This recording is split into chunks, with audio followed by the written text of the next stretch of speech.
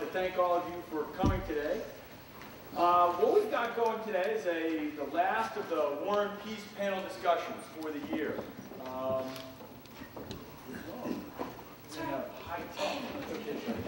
here. Um, excuse me. We have a great panel of speakers today to engage the puzzle of basically American foreign policy towards the Middle East. Whether we're talking about Israel, terrorism, Iraq, one thing that I think we can all agree on is that the Bush administration's policies most recently and over the last five years have been extraordinarily controversial. Uh, I, I, think we can agree on that. I'd like to thank, uh, in particular, Ken Yalowitz for supporting the War and Peace program over the last couple of years. I'd like to thank the members of the Dickey Center for providing financial support for events like these and a variety of other ones that aren't quite so visible to the public. Um, let me tell, just take one more minute. I'm going to reserve as much time for both the panelists and for discussion to tell you about our ground rules. Each of the four of our panelists will have about 15 minutes to speak and present their views. They've been given quite broad latitude about what it is that they would like to speak about. In other words, I didn't want to dictate, have my views dictate about what they think is important in terms of what they should talk about. Um, once we get through our go-round, the floor will then be turned over to you. I will moderate then questions from the floor to any or all of the panelists. Our first speaker today is Sinan Antoon. He's a doctoral candidate in Arabic literature at Harvard University, and he teaches Arabic here at Dartmouth College. He's published articles and poems in both Arabic and in English. He has studied English literature at Baghdad University before coming to the United States in 1991 under the conditions of the first American Gulf War there. He did his graduate studies in Georgetown prior to going to Harvard. He returned to Iraq two years ago in 2003 as a member of Encounter Productions to film a documentary about the lives of Iraqis in post-Saddam Hussein Iraq. Mr. Thank you. Oh, that's supposed to speak from there? I think we need to speak from this microphone here. Are you serious? Oh, no, there you go. Okay. Thank you very much for the introduction and for the Dickey Center, and uh, thank you all for coming. Uh, although the general idea is to provide uh, pro prognostications and advice on what is to be done now, I will spend most of my uh, brief comments about what went wrong in the past because I fear that unless we deal with that, things will uh, keep repeating themselves. Uh, and of course, 15 minutes, too many generalizations, I apologize. Uh, in addressing the issue of foreign policy, U.S. foreign policy, especially as it pertains to the Middle East, one must grapple with a certain amount of frustration, whether as a concerned citizen and observer or a student and scholar of the culture and politics of that region. It is particularly frustrating today because one can no longer assume that the policymakers are interested in listening to critical voices or are willing to acknowledge mistakes and pitfalls if and when these are identified. Not that people in power anywhere are necessarily or usually keen on listening to detractors or critics, but this current administration has truly outdone itself in this respect and will surely go down in history as one of the most arrogant and unwilling or even incapable of learning from its mistakes. To the contrary, it rewards and promotes those amongst its ranks who conceived of, promoted, and conducted a series of disastrous political and military decisions that have cost billions of dollars and thousands of lives. Need I mention the names Wolfowitz, Rumsfeld, and Rice, to name just a few, and also, for example, Bremer, who was appointed as the governor of Iraq. And we can all agree now that uh, his tenure was disastrous. He was given a medal a few months ago if you've all noticed, as well as Tommy Franks and the ex-head of the CIA. So the situation is very um, absurd, to be honest with you.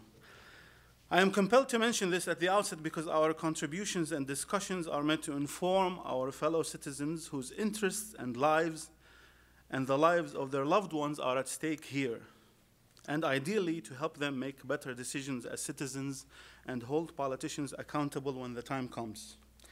Yet most of the citizenry has forgotten a most important American tradition, dissent.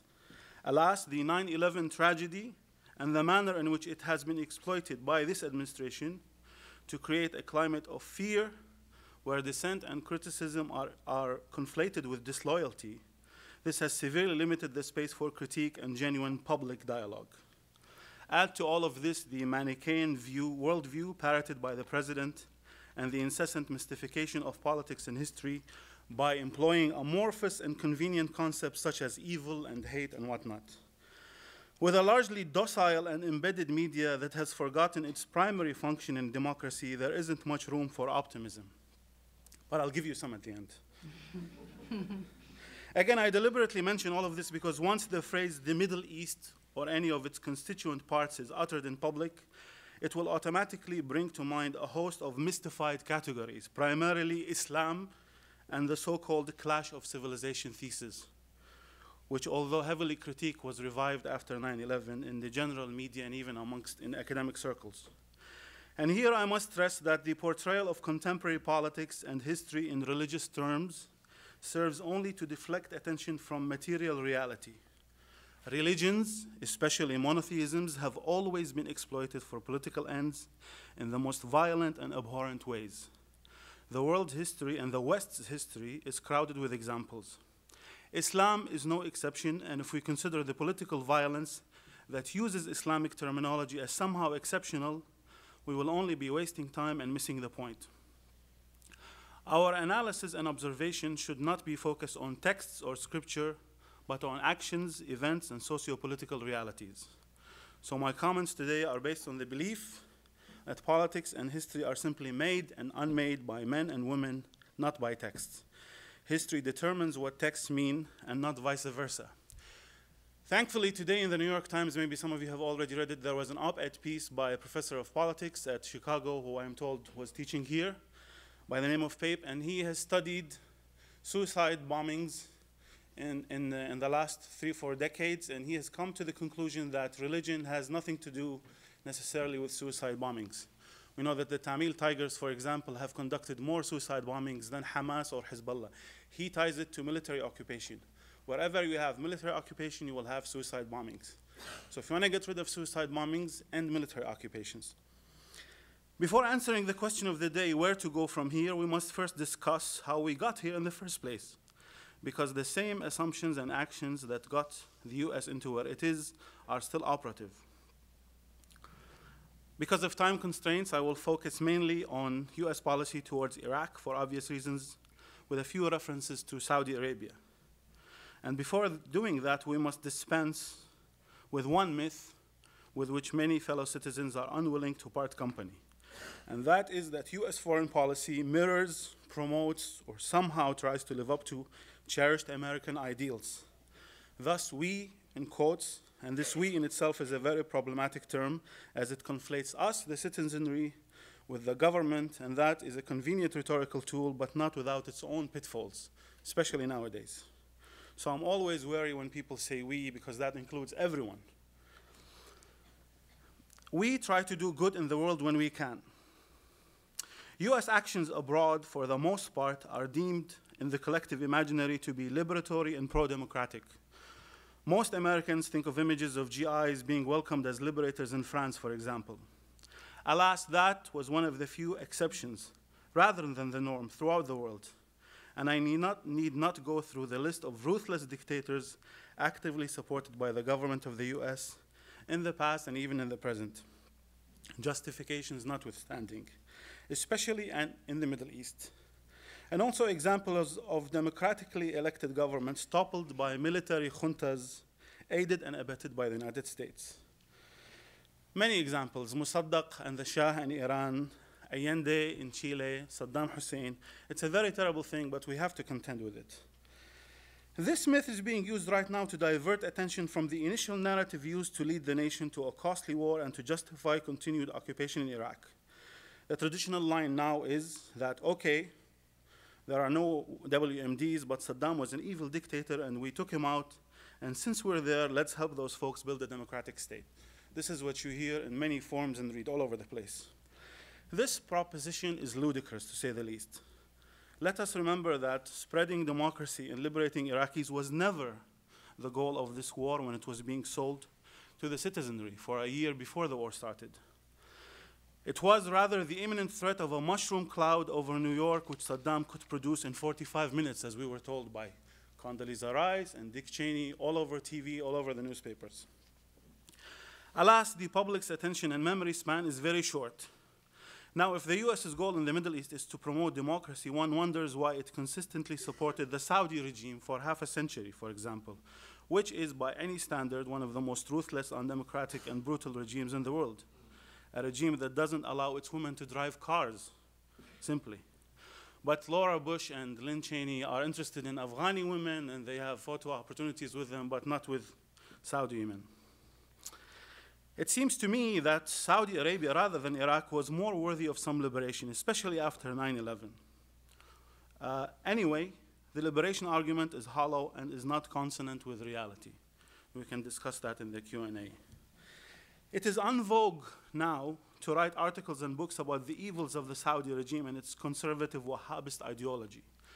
But one wonders where were these voices in the past, especially in the 1980s during the Afghanistan war when Saudi Arabia was an ally in the war against the evil empire of the time, the Soviet Union. In those days, mujahideen and jihad, very evil word nowadays, were positive categories because the cannons were directed at the Soviets. Some mujahideen were even invited to the White House. You can check it, it's out in the public record.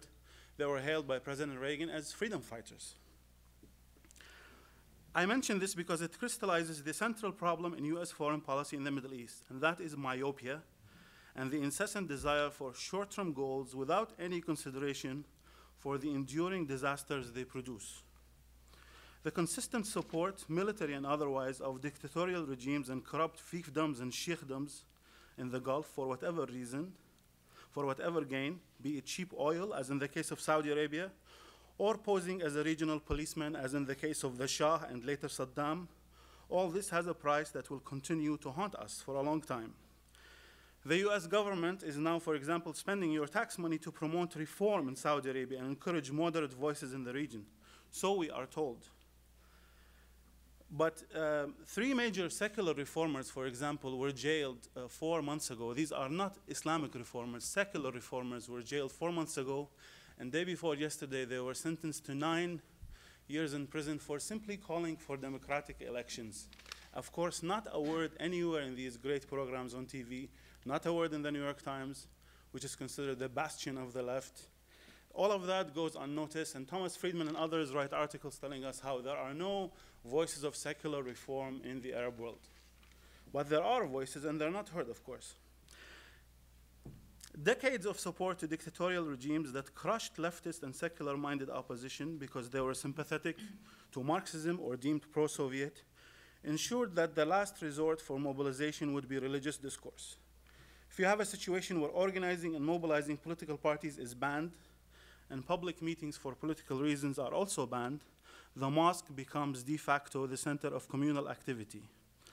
I always like to mention Sadat, for example, because in the public discourse here, he is always portrayed as the enlightened man of peace because he was our ally and our man. Sadat single-handedly is responsible for encouraging and for the growth of what is deemed to be Islamic fundamentalism in Egypt and in the region. Because simply in his effort to crush the left again in Egypt, most of it was socialist, he threw all of them in jail, threw hundreds of intellectuals, secular, liberal, Western minded intellectuals into jail, and released many of the members and the activists of the Muslim Brotherhood who were in jail in order to offset the left, releasing all the Muslim brethren and giving them free reign in order to offset the left.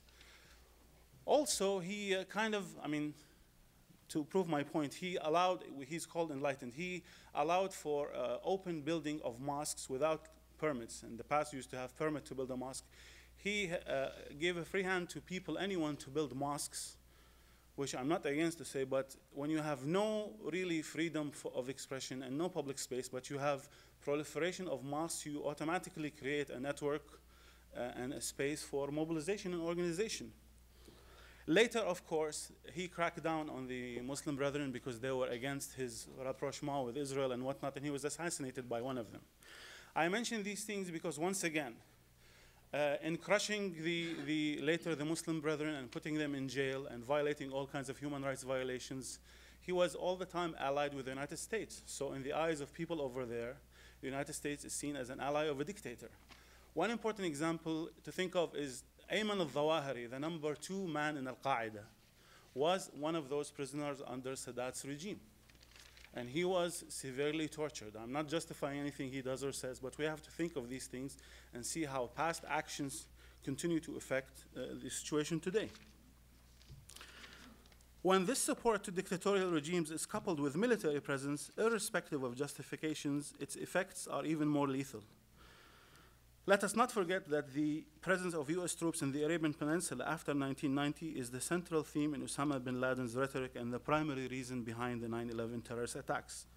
Striking alliances with brutal regimes that oppress their own population cannot earn the US the sympathy of those populations. Because the line you hear now is why do they hate us? They don't really hate you or me as people who live here. They hate the actions of the United States and the military and the regimes that the United States allies itself with. I come to Iraq. I don't know how much time I have left.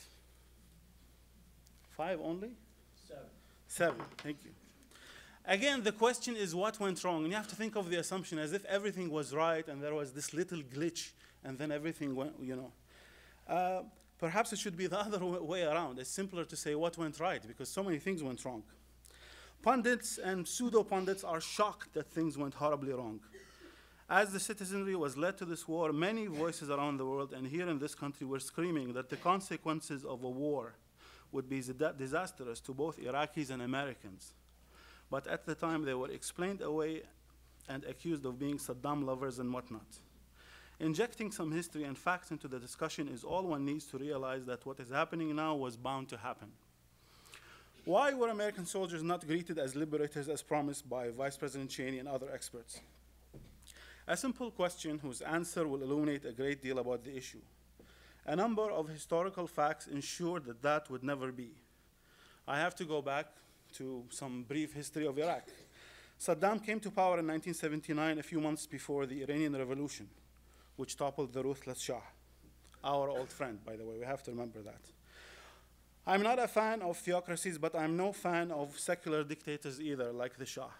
In September of 1980, Saddam started the Iran-Iraq war, which lasted for eight years. The international community was not rigorous in its efforts to stop that war, and we can get into that later.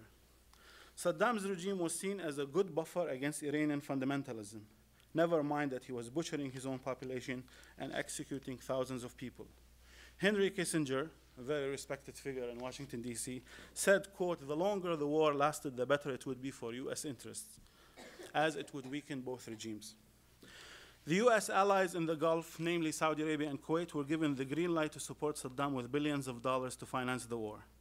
The weaponry, of course, to sustain that war was coming from France, Britain, China, Brazil, the Soviet Union, and later the United States.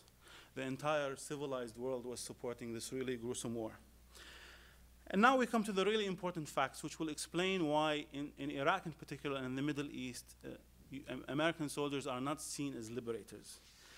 Um, in 1982, President Reagan sends Donald Rumsfeld as his emissary to Saddam to reestablish diplomatic relations with Iraq because they were cut off. This is really at the height of Saddam's brutality against the population. So for me, having grown up in Iraq, and for many Iraqis, when we see Rumsfeld on the screen, what we see in the background superimposed is him shaking hands with Saddam in 1982. That signaled um, a renewed uh, diplomatic relationships between Iraq and the United States and significant support by the Reagan administration for Saddam's regime financially with uh, military intelligence and whatnot. And it continued under uh, Bush 1. Ironically, also at the time, Rumsfeld was the emissary of Bechtel, at the time, it was doing business with Saddam, the evil dictator, and now Bechtel is also rebuilding Iraq after overthrowing the brutal dictator. I mention this because uh, how many of you saw that picture? It appeared only once on CNN, and Rumsfeld was really upset that it, was, it appeared. We, the citizenry, should have been informed about the previous actions of people in this administration and how they dealt with these issues. Um,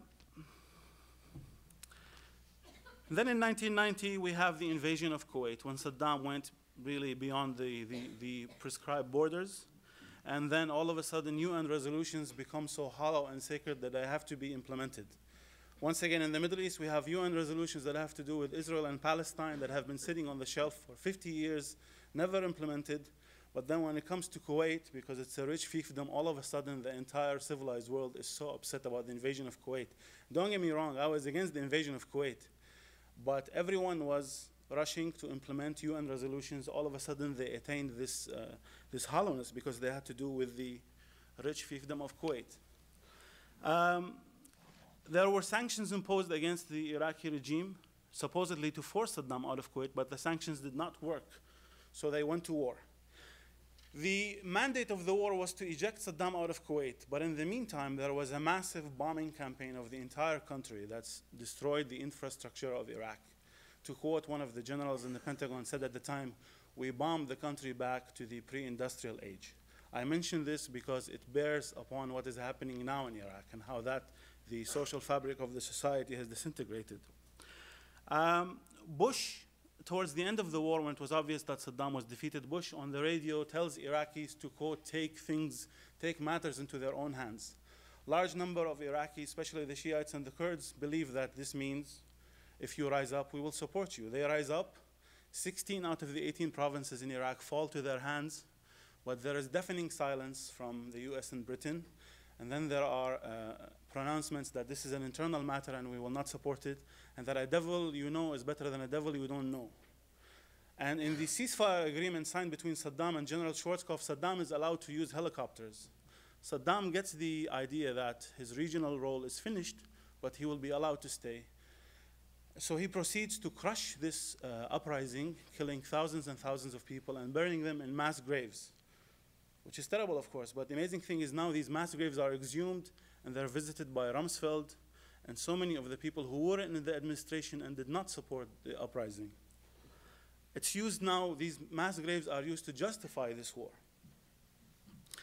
Uh, Another important thing is that the 91 Gulf War decimated the rank and file of the Iraqi army and left the Republican Guards, which were Saddam's buffer, left them intact. So it was obvious that the United States did not want to really remove Saddam, but just wanted to get him out of Kuwait. I have two minutes left. Uh, the sanctions, most draconian sanctions in history, sanctions did not work to eject Saddam out of Kuwait, but they kept them in place saying maybe they'll weaken him. From 1990 until 2003, they end up killing 1 million civilians.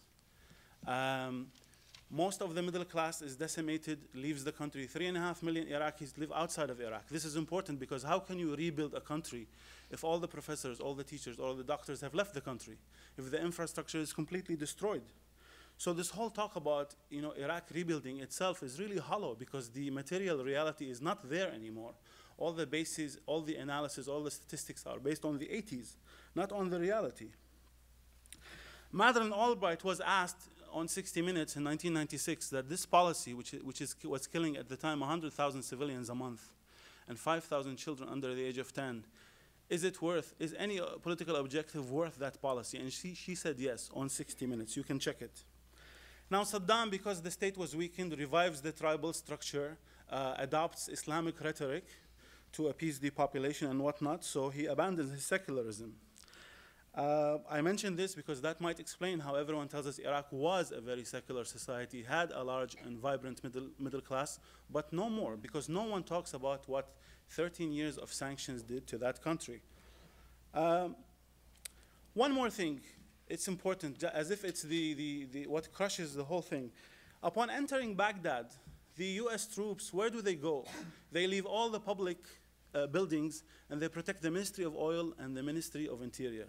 What kind of message does that send to the Iraqis? Why are we here? What are we doing? The, the occupation must really end as soon as possible because the whole argument for the war is hollow now. It was built on a huge lie.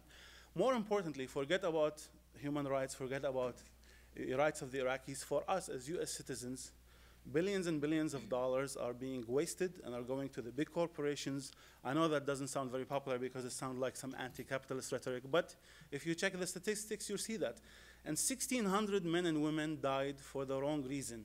There is no timetable to withdraw from Iraq. This is what's making a lot of the Iraqi government suspicious. And Senator McCain says we're going to be staying there for 10 or 20 years. More importantly, your taxpayer money is going to building 10 permanent military bases in Iraq. Unless the United States leaves Iraq and hands it over to some kind of international body, uh, things will only get worse. Thank you.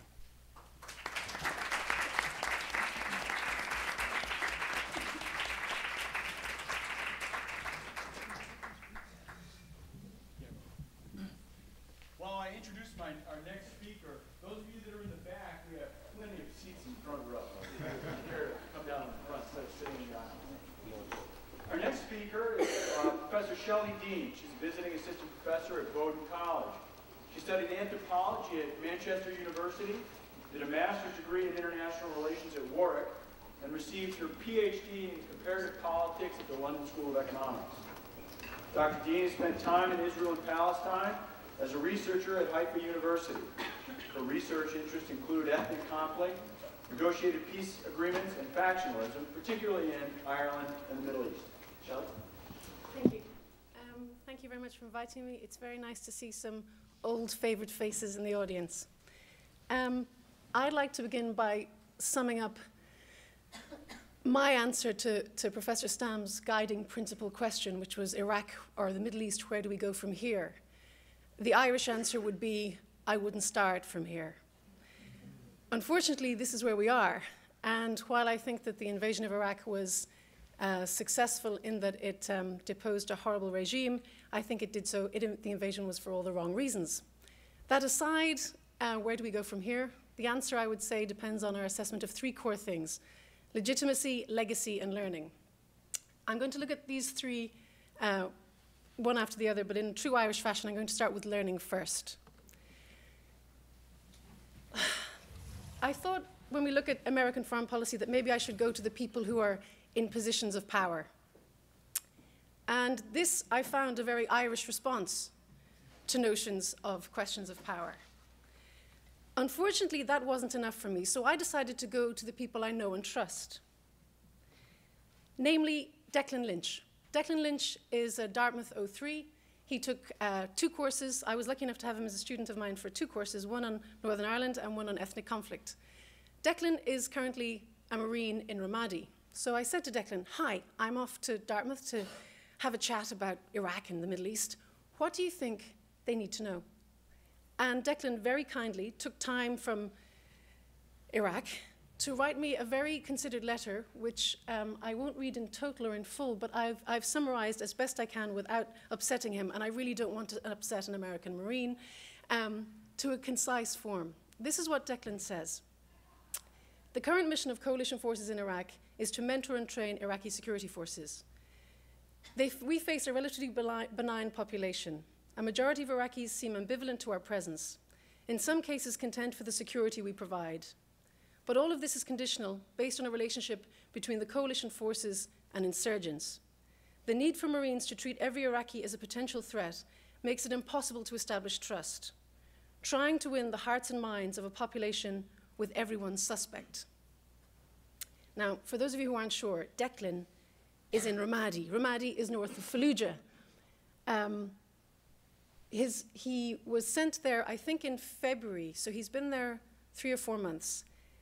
And what he, what he wrote in the next part of the letter I found particularly poignant because Declan is an Irish citizen born in Ireland who took American citizenship in order to become a Marine.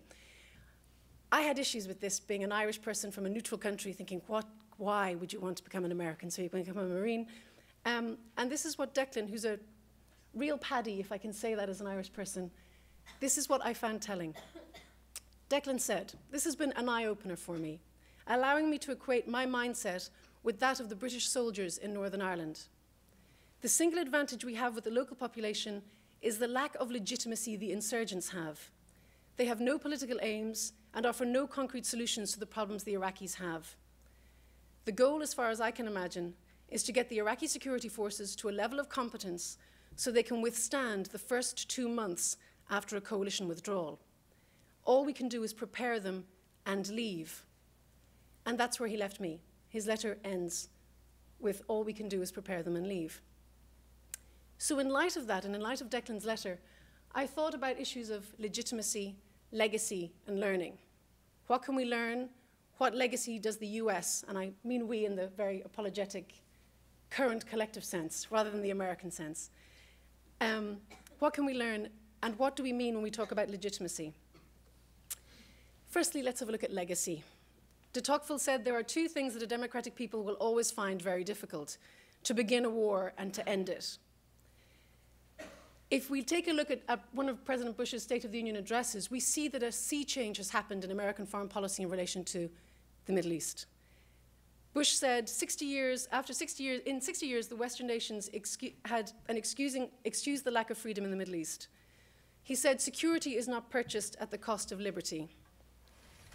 In effect, the Bush policy for the Middle East has become one of democratization, not in the fluffy sense of democratization that we all seem to know and love, but democratization has become a strategic goal, not a luxury, but now a strategic priority for the Middle East.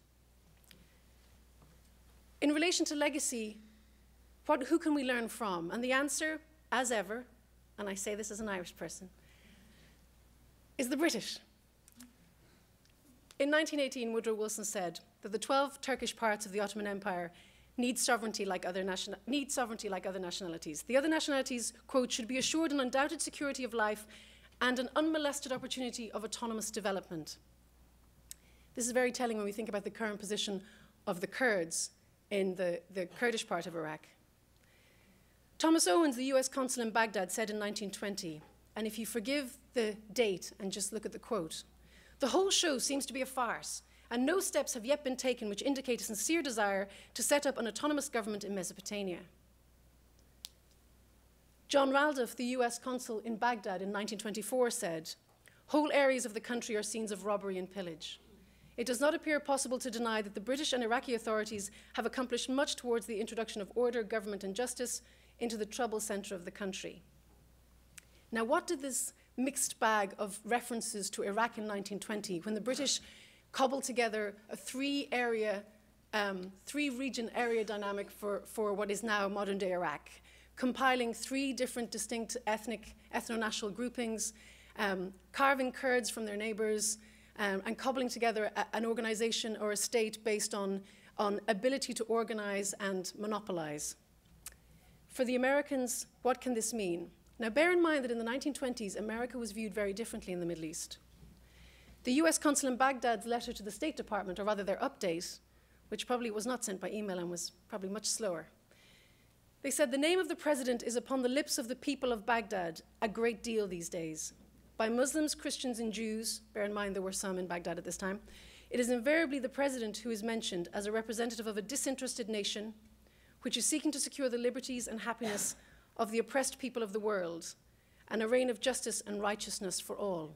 So the view of America in Iraq in the 1920s was a very different perception.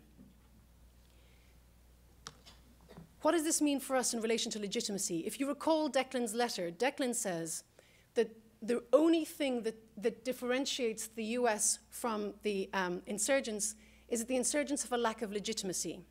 Declan argues that the insurgents in Iraq appeal to the base level, namely the, the, the, lack of desire for some people for the, the occupying forces in Iraq.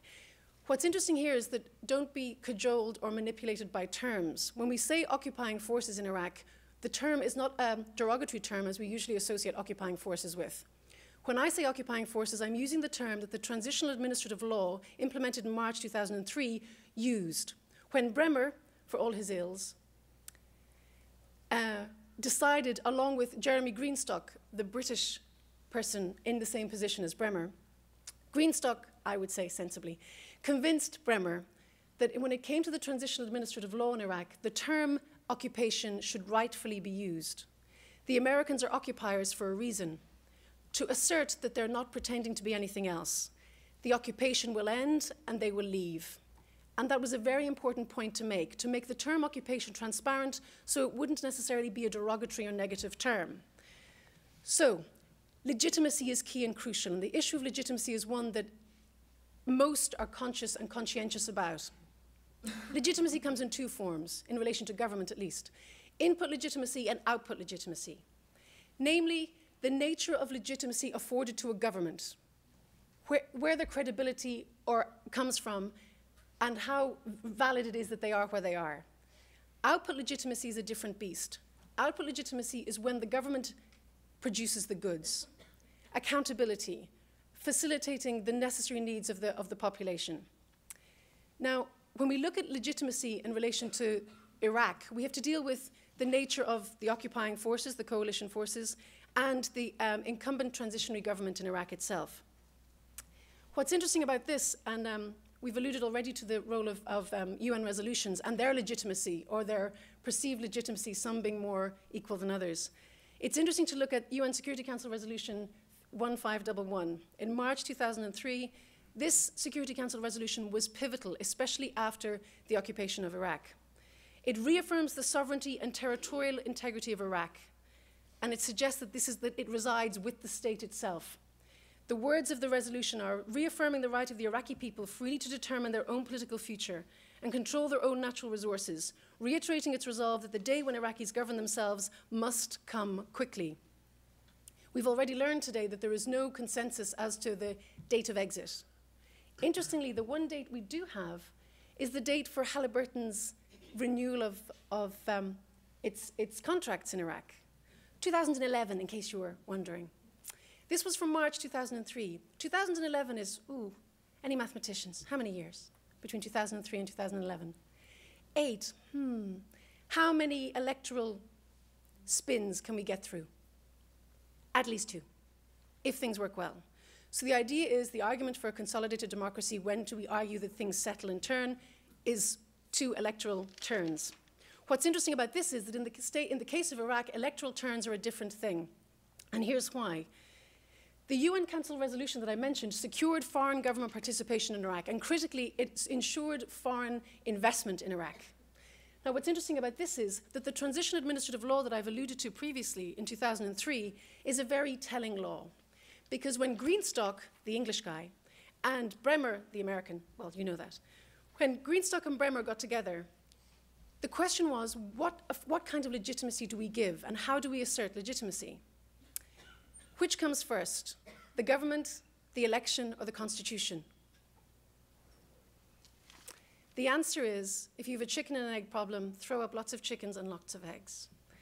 The remedy was to create a transitional administrative law that would function, which they did in March, establish elections in January, which we've had, January of this year, have an, uh, an interim government determine and create the position for creating a committee to write the constitution, which, all things being equal, will happen in August, all things being unequal, will be pushed ahead another three months.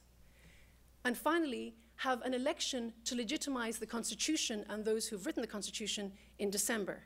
If you can't determine which comes first, the chicken or the egg, you create two elections and one constitution. An election to elect the people to determine the constitution and an election to validate that constitution. That sounds very cozy. The difficulty we have with this, of course, is that the nature of Iraq is such that we have an awful lot of different actors and players involved. What's pivotal here, and the word pivotality is critical, is the role of the Kurds and the nature of the system in Iraq and the way that it's organized in 18 regions. Interestingly enough, Saddam Hussein opted for 18 regions and no one could think of another way to divide the place up any better, so it's still 18 regions. For the constitution to be validated, 16 of those regions have to endorse it. And the difficulty with this is that the Kurds have an optimal position to be able to let the constitution spin arguably on a Kurdish whim.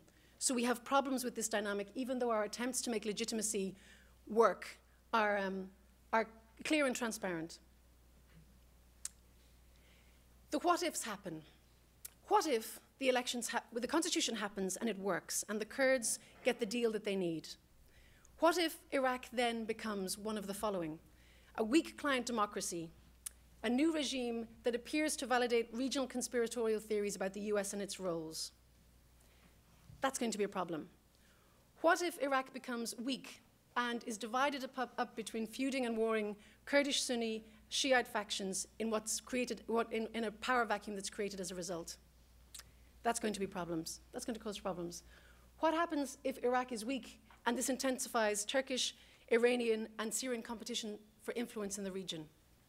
If we, know, if we look at the recent um, events in, um, in the region, we can see that there are dynamics where Syria and Iran are playing to the Caspian and to the northern states in a very interesting dynamic which has yet not played out its full part. What happens if Iraq adopts a theocratic tilt? It creates greater regional instability and increases the destabilization. What happens if it becomes a strong United States and acts as though it has power and attempts to concentrate its internal development from there? It'll attempt to rebuild its forces and rearm. When it does that, the rest of the region feels uncomfortable again. To rebuild its military creates tension. The tension is in no way undermined by the role of the, um, by the, role of the uh, Kurdish um, Peshmerga, who, interestingly, the Kurds have said that's their, the Kurdish force that is unified and cohesive, and they have said there's no way they will undermine or, or have their Peshmerga uh, disband. So we already have problems in terms of how these things play into one another. Political and economic development is going to be critical and problematic. And then critically, the issue of energy. And the critical thing about energy is the great unsaid. Lacan said that the unsaid is more important than the said, and we're all talking about oil. But there's one critical thing that no one's mentioning, and it's natural gas. Gas is big, and gas will be the big issue, not least for the reference to Kirkuk being a problem for the Kurdish areas. Gas is big, not least because there's a pipeline that goes from Kirkuk, an old, dusty, rusty British pipeline that goes from Kirkuk all the way to a little port on the coast of the Mediterranean. Anyone care to guess? Yes. So it'll be very interesting that we have this connection between the Kurdish autonomous area, whatever it will end up being, and um, Israel. So there are lots of ramifications for all of these facets within the region. Then we come to Iran. Policy learning for Iran. What can Iraq teach the Iranians who are currently a little bit tentative, or perhaps not tentative enough, according to the Europeans? Iran lost its neighboring threat by having Saddam removed by the US. It was replaced by the fear of the US and what the Americans want to do with Iran. The issue of Rafsanjani and his, his recent attempt to stand in the pending elections. Rafsanjani was the one who initiated political dialogue with the US and was very helpful in Afghanistan with dealing with Iran and Afghanistan. Rafsanjani, for those of you unaware, is also the king of pistachio nuts. Pistachios are big in Iran, and Rafsanjani is the pistachio nut king. So clearly, when it comes to Iranian product and, and exports, we don't want to be in, incur sanctions on pistachios in Iran, whatever about oil. Natural parallels with um, informal Iranian US cooperation over Afghanistan. We thought things were going well. Now, unfortunately, in relation to uh, uranium and the like, we have problems. Iranian Shia influence has a stronghold in, in Iraq, in, uh, but in, in, the southern part of Iraq. Uh, in terms of religion, the key shrines for Shia Islam are in Iraq. Um, ideology, the issue of a theology in Iraq could be problematic in relation to the Iranian dynamic. Um, security, US influence in the Gulf will be problematic, especially when you see how Iran and Iraq relate to one another. Energy and economics, again, oil production and the quotas, and critically, Iran's claims for reparations after the Iran Iraq War. It's also worth noting here that Iran first attempted to gain access to high powered, big power state weapons under the Shah. And under the Shah in 1979, a deal was done with Israel to assist in the creation of of um, Israeli missiles that would be exported to Iran. So when the Ayatollah came in and changed the policy, it wasn't until the Iran-Iraq war that the Iranians lobbied strongly to try and access and re-improve and, and do something about their, um, their, their uh, capacity for weapons and missiles in particular. Because I don't want to race out of time and harass Professor Stam, um, Iranian-Iraqi strategy. What does this mean? What can the Iranians do in relation to Iraq? They can play, uh, Iranian Shiites can be played off in Iraq against other factions. Um, the incentive is for the Iranians to internationalize the conflict so that the US don't hold on to the influence. A tactical advantage is, is asserted here um, to try and assist in state building in a Shia dominated region in particular. So, this is Iran's interest. Um, Iranian relations with other Gulf states is, is strong, particularly.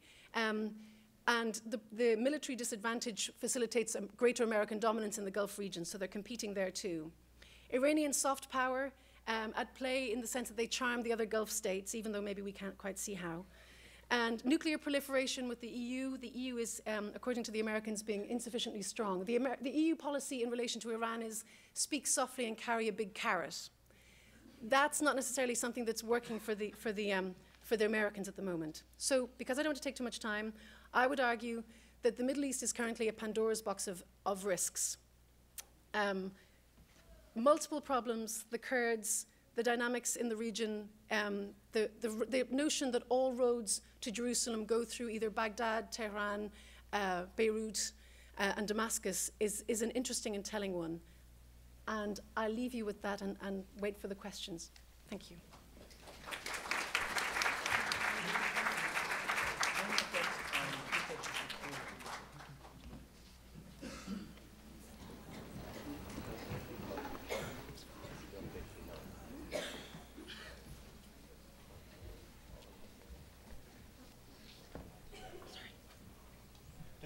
Shelley. Our next speaker, uh, it gives me great pleasure to introduce Dennis Goodman.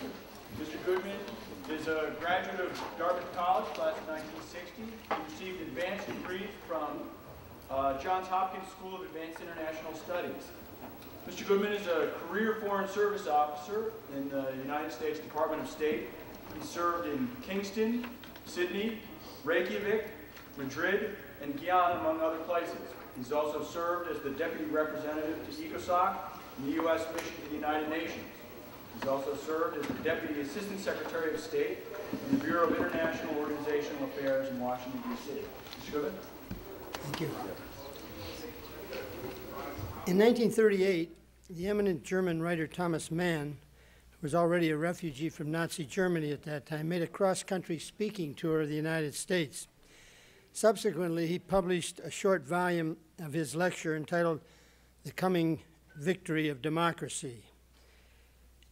Not a particularly timely title, you might say, in 1938. But Mann wrote, quote, Democracy as a whole is still far from acquiring a clear conception of this fascist concentration, of the fanaticism and absolutism of the totalitarian state.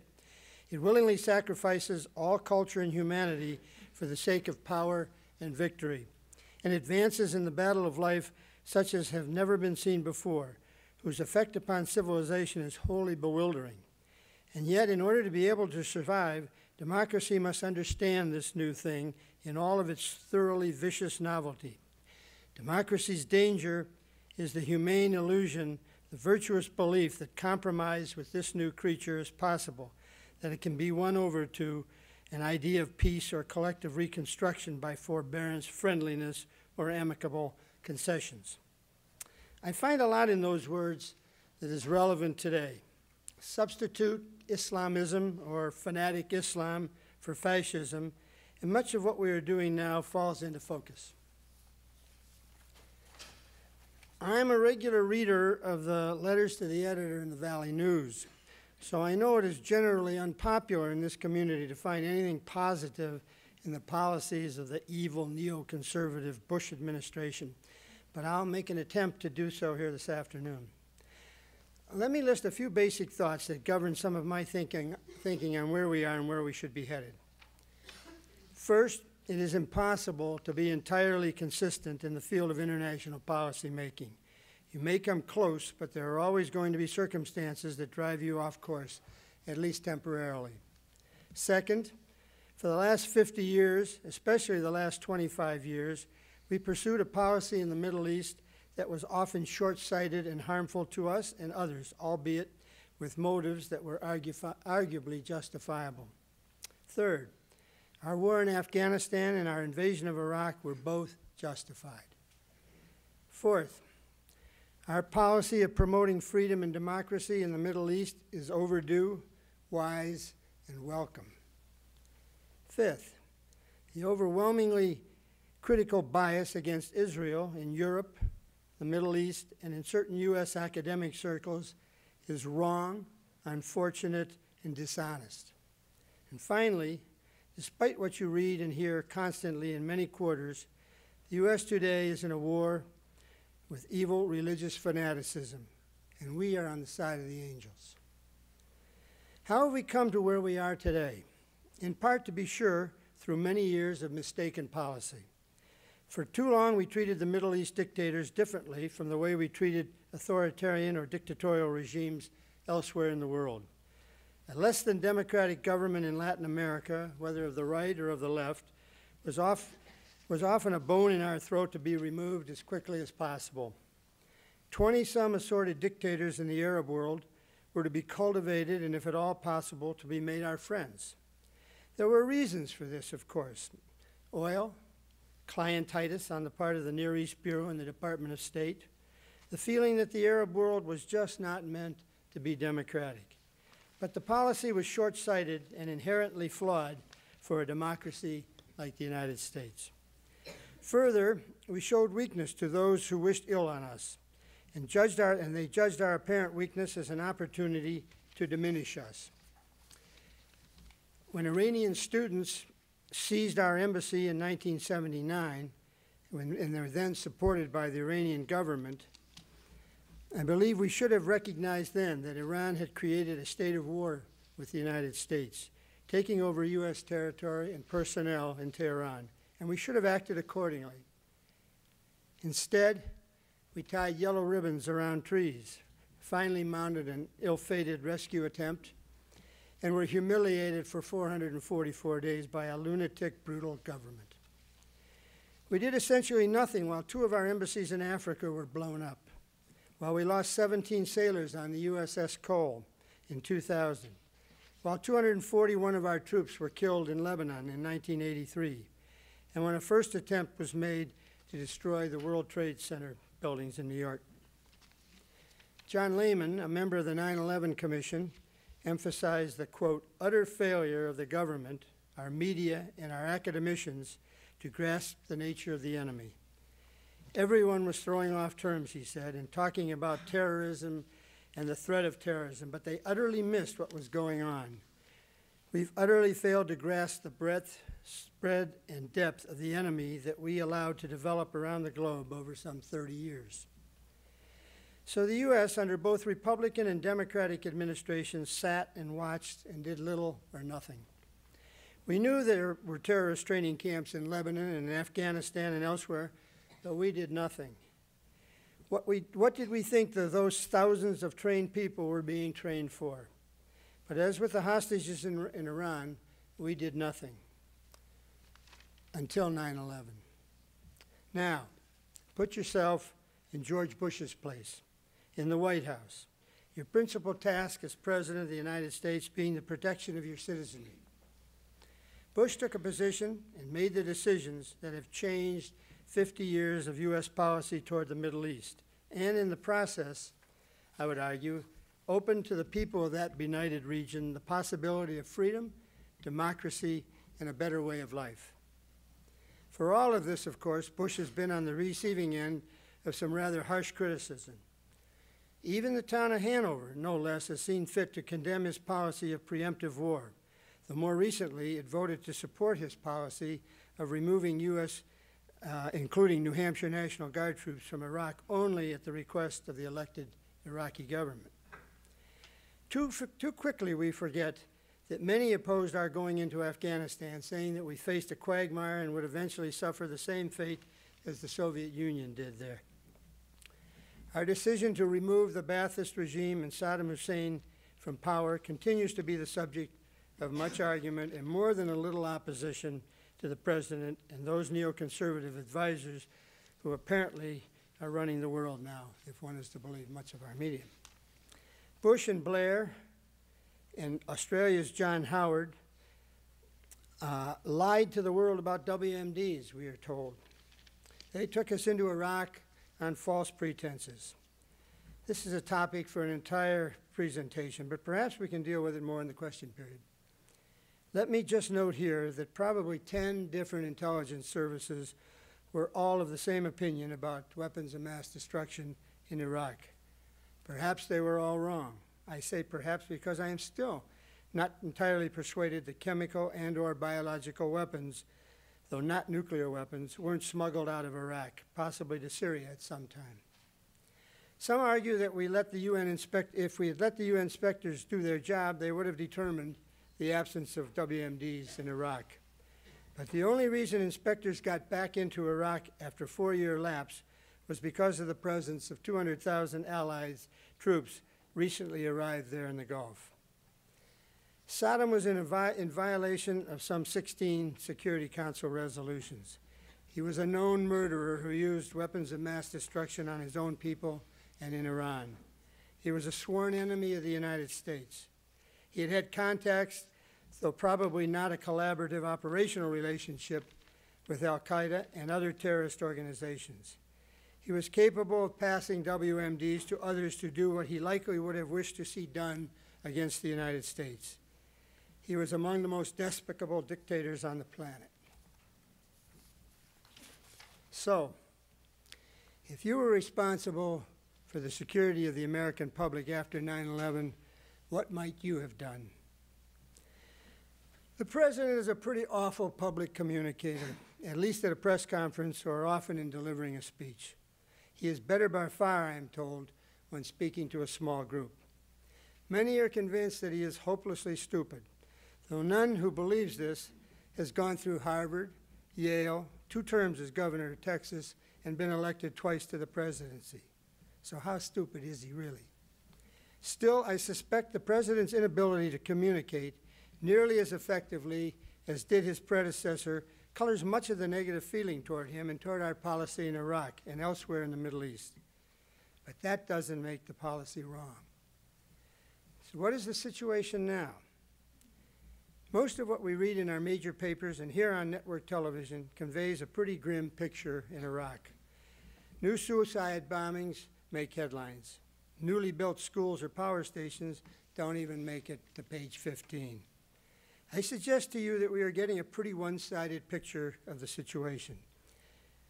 That is hardly to say that all is right with the world in Iraq, but we should at least be asking what else is going on in a country of 25 million people beyond what we read of bombs going off in the Sunni Triangle?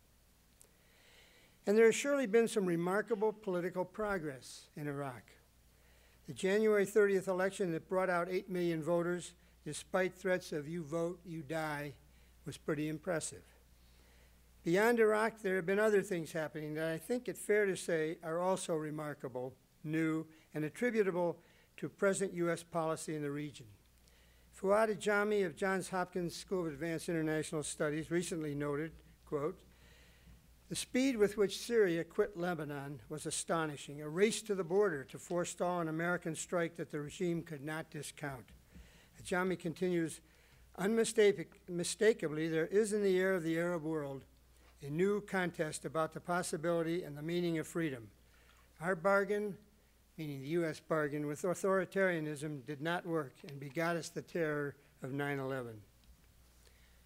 The New Republic's Martin Peretz writes History has never traveled in the Middle East as fast as, it has during the last two years. In this place where time seems to have stopped, time has suddenly accelerated. The fact is, writes Peretz, that democracy did not even begin to breathe until the small coalition of Western nations led by the United States destroyed the most ruthless dictatorship in the area. Even the New York Times on March 1st of this year weighed in with an editorial entitled Mideast Climate Change. Said the Times, it is not even spring yet, but a long frozen political order seems to be cracking all over the Middle East. Cautious hopes for something new and better are stirring along the Tigris and the Nile the elegant boulevards of Beirut, and the impoverished towns of the Gaza Strip. This has so far been a year of heartening surprises. This is from the New York Times.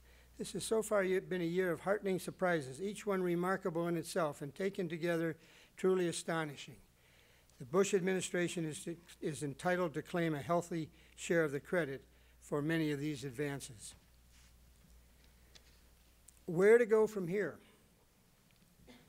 First, recognizing that we can't and shouldn't attempt to deal with all the states in the Middle East in the same way, that it's impossible to be entirely consistent in international relations. We need to proceed carefully, particularly in our dealings with countries like Egypt, Saudi Arabia, and Pakistan. We will be accused of double standards, no doubt.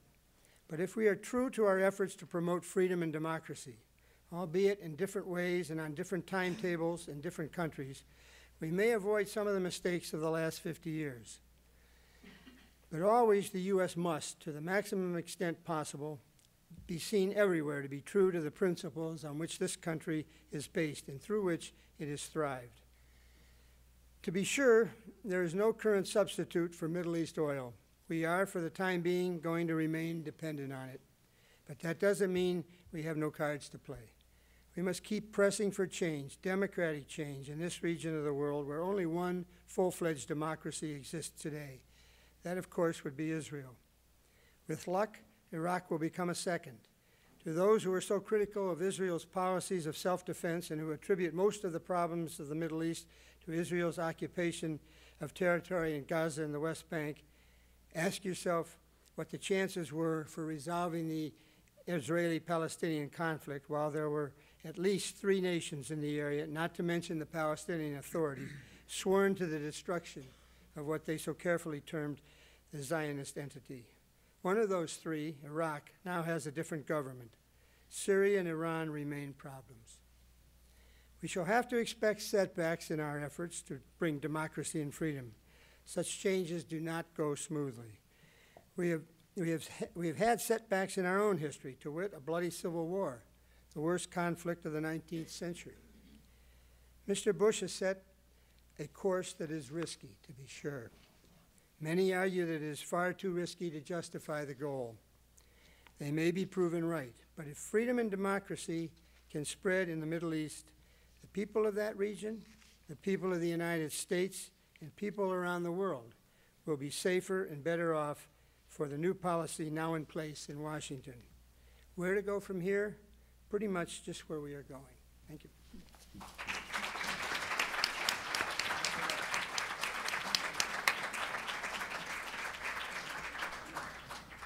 For our last speaker this afternoon, we have our own Daryl Press, who's the Assistant Professor of Government here at Dartmouth College. Unfortunately, in July, he will be Assistant Professor in the Political Science Department at the University of Pennsylvania. He's published articles on a broad range of topics, including the effects of changing technology on the future conduct of war, the economic effects of warfare and a globalized economy, and most recently is completing a project looking at the connection between war and oil prices. Professor Press is a consultant for the RAND Corporation, a member of the Council on Foreign Relations, and an associate at the Olin Institute at Harvard University. Daryl? Thank you, Al. I, before I begin my talk, I want to say that um, although the tone of many of the presentations so far is kind of gloomy about U.S. foreign policy, it's very, very heartening to me uh, in terms of the quality of discussion and debate here at Dartmouth. And I think, you know, frankly, I want to personally thank Al the director of the War and Peace Studies program, and also Ken Yalowitz, not simply for the normal thing, which is organizing a, a discussion and this sort of thing, but for honest to God presenting you guys with a range of differing viewpoints from the left to the right to give you guys different arguments from different sides, some of which you probably like, some of which you probably hate, but to give you the opportunity to wrestle with this. And I think that, frankly, all of us here at the community, whether you agree with half of them or two thirds of them, we all benefit from this. So I want to thank them for that. And the second thing is I'm going to thank Al by 90% following his instructions. And you might think 90% isn't very good, but for a professor, following the instructions of the talk by 90% is actually quite good. Now, in case you're afraid that the major violation I'm going to make is by going over, I assure you that that's not the case. I will limit my uh, talk to uh, 15 minutes. What I'm going to do is Al asked us to talk about where we should go from here in Iraq. And feeling that that's such an easy answer, irony intended, that I wanted to do more than that, what I'm going to do is I'm going to ask where we should go from here in the Persian Gulf region, to some extent the Middle East. So I am going to focus on the present. I'm going to focus on my opinion. It's just my view on what we should be doing but it's about what we should be doing in the Middle East and the Persian Gulf. So that's what I'm going to do. In the months after the 9 11 attack, um, from a variety of circumstances which don't merit going into here, I got the opportunity to give talks up and down the state of New Hampshire and then eventually all around the United States to citizens groups. Um, people who came out to their local libraries just because they wanted to talk about U.S. foreign policy and have a sounding board for their ideas. And it, it was phenomenal to um, hear what people's questions were and what their frustrations were and how they were feeling. And one of the things that came through most clearly to me was a sense of frustration in a way. Because people would look kind of sheepish, because they almost felt embarrassed to say it. But so many people would finally say things like, you know, I just wish America didn't have to be so politically enmeshed in the Middle East. It seems like such a nightmarish place. There are so many divides, so many factions. Everybody hates everybody, and the only thing they seem to agree about is they certainly hate us.